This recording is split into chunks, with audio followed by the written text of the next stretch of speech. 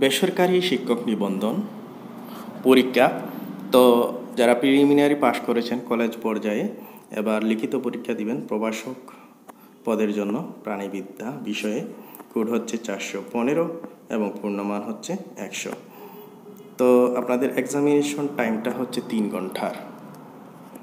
তো আপনারা যে কন্টেন্টগুলো পড়বেন, সেটা সুন্দর করে তারা দিয়ে দিয়েছে। দেখুন, এখানে আপনার এই সিলেবাসটা পড়তে হবে, সেটার জন্য আপনার টেন নাম্বার নির্ধারণ করা। তো কীভাবে পড়বেন সেটা এখানে এক্সপ্লেন করে দেওয়া আছে।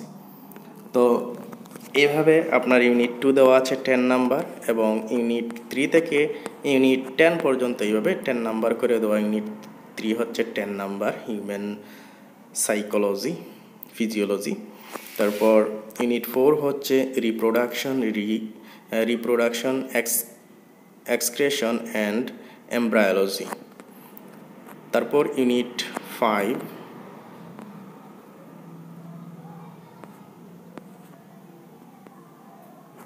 unit five unit six unit seven applied geology and parasitology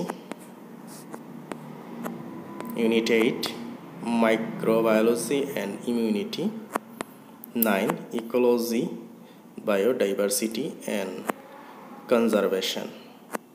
তারপর unit ten ethology zoogeography and biostatistics তো এই হচ্ছে আপনাদের টোটাল সিলেবাস তো অনেকেই প্রশ্ন করবেন যে বাজারের কোন বইটি ভালো? দেখুন, আপনি লাইব্রেরিতে যাবেন এবং যে প্রকাশনীর বই আপনার ভালো লাগবে, সেই প্রকাশনীর বইটি আপনি কিনে নেবেন এবং সেটা পড়াশোনা করবেন। দেখবেন আপনি খুবই ভালো একটা রেজাল্ট পেয়েছেন। অনেকে বলে থাকে নিজ জেলায় যদি পোস্ট ফাঁকা না থাকে এনটিআর সিটি কায় না। দেখবেন এটা ভুল ধারণা। আপনি পরীক্ষায় পাশ করে যান, যখনই কোনো জায়গায় পোস্ট ফাঁকা হবে, তখনই আপনাকে নিয়োগ দেওয়া হবে। তো এই ছিল আপনাদের জন্য আজকের ভিডিওটি। তারপরও কোনো প্রশ্ন